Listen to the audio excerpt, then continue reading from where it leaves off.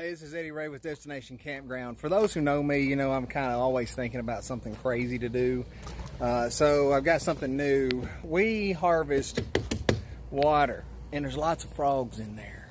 Anyway, so we harvest water. Water comes down into a spigot, and it goes into a hose. So here's what I've done. You know, it's 100 degrees out today, and most days in Tennessee, it's hot.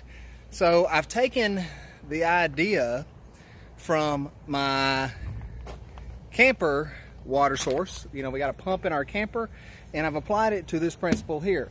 So what I have done is created a water source from my water tank that runs off battery power. The lawnmower today, a battery later with a trickle charger and maybe a charge controller, uh, solar panel. So let's take a look at this real quick like.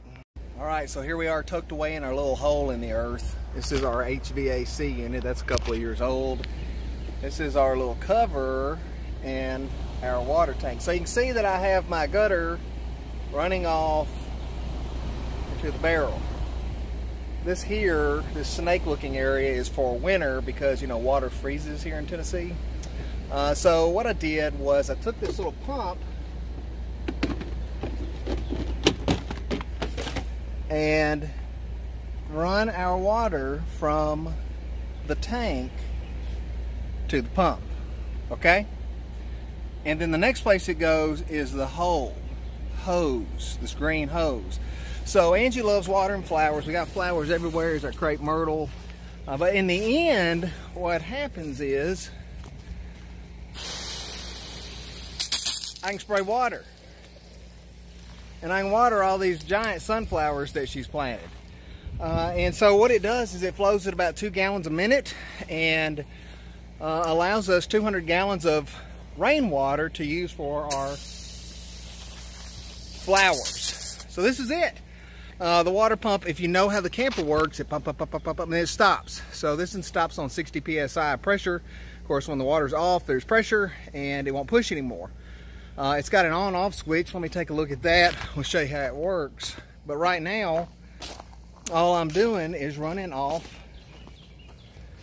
the lawnmower battery. When we're not using it, there's a little switch. So the switch goes here, turns it on from the lawnmower, pumps the water through the hose into the yard again. And so when it ever, or if it ever rains here again in Tennessee, this will fill back up and then we'll have to do it again.